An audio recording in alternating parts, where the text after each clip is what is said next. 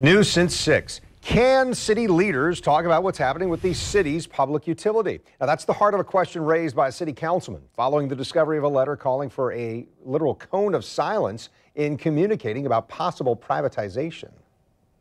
This is a letter from a local firm called Foley and Lardner, dated August 2nd. It's to the board chair and CEO at JEA. It calls for a limitation on communications as JEA solicits, quote, strategic alternatives through a, quote, invitation to negotiate. So the attorney's letter says the ITN prohibits ex parte communications between potential bidders and JEA and its representatives, and it refers to that as a cone of silence. And that got City Councilman Garrett Dennis to organize a meeting today asking for a legal opinion what can be discussed and what can't. And you think about it, so we have JEA, what's going on the privatization, and, and, and we're saying that the city council cannot interject themselves, cannot ask any questions.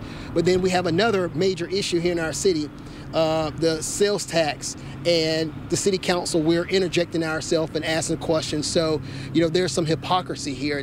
Leadership at JEA in Jacksonville has said it wants a, quote, very deliberate conversation about what is effectively a policy conversation. Here's what CEO Aaron Zahn told me during our episode of This Week in Jacksonville a week ago.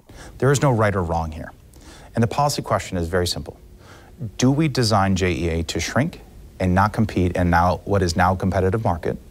Or do we design JEA to grow and start competing in the market?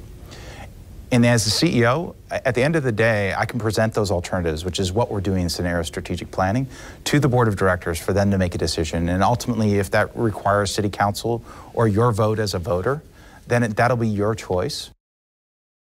So why would JEA or its attorney ask for this so-called cone of silence? Well, the letter says limiting communications between potential bidders and JEA or its representatives can, quote, ensure that JEA runs a fair and proper procurement process.